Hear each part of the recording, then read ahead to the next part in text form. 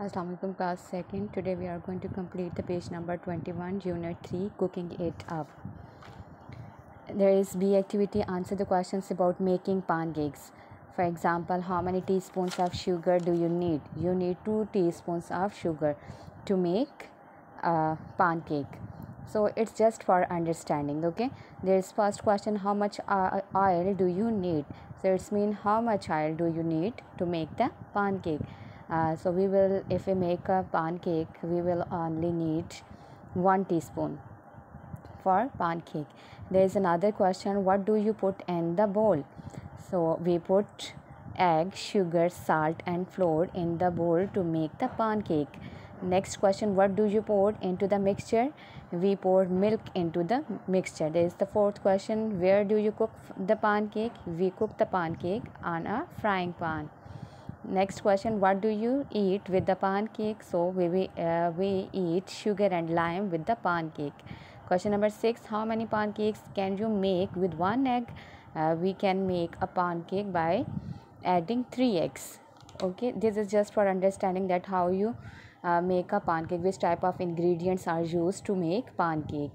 There is next uh, activity c label these kitchen items so this uh, there are some different pictures of kitchen items crockery so you will write the name of the following pictures the uh, uh, name of the pictures has have given like the first picture is a knife a fork a spoon a teaspoon a bowl a plate a saucepan a frying pan a bottle a jar there is another question that circle the things that are made of metal जो चीज़ें दहात से बनी हुई हैं उनको आपने क्या करना है सर्कल कर देना like a fork is made of metal a saucepan is also made of metal, a knife, a frying pan, a spoon and a teaspoon.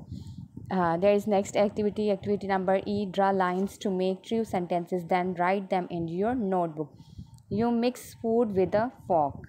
Then next is you cut food with a knife. You stir food with a spoon. आप जो है ख़ुराक को या जो भी चीज़ आप पका रहे हैं उसे हिलाते हैं किस चीज़ के साथ हिलाते हैं स्पून के साथ चम्मच के साथ you pour milk from a jug आप जग से जो है, वो दूध को उंडेलते हैं। Next you fry food in hot oil you boil food in very hot water now go to the next page page number twenty two here you can see a picture there is a witch and witch as here making some things so we will match the following following sentences with the following words, and we will also write the different words. First of all, we see the picture.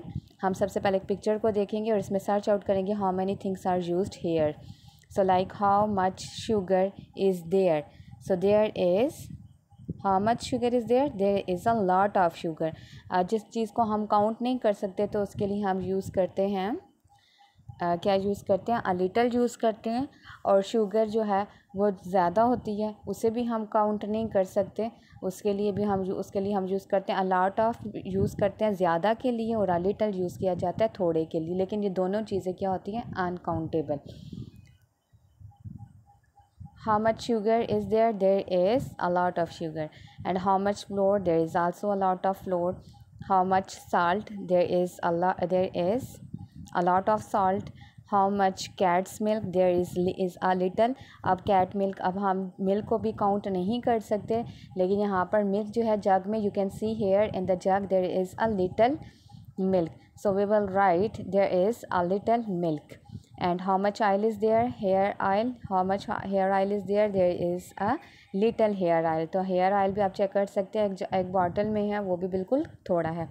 Next how many parrots parrot eggs sheep tails snakes frogs and spiders. Their numbers are given. You just write the name of the things that uh, like two sheep tails three snakes and also three spiders four frogs six parrot eggs.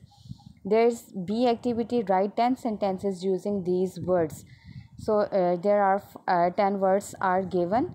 So you will make the sentences from the following words packet bag jar jug bottle pan bowl hand box plate so you will make the sentences from the different ten words तो ये आपका homework है इसको आपने properly notebook पे write down करना है now go to the page number of twenty three here you can see there are different activities that are very easy there is a activity write these words in small letters you know what are small letters and how uh, you will write the small letters like floor there are these are uh, there are six words and each letter is written in a capital letter. And you will write these words in small letters. Uh, B activity write the correct numbers in the ingredients for the which stew.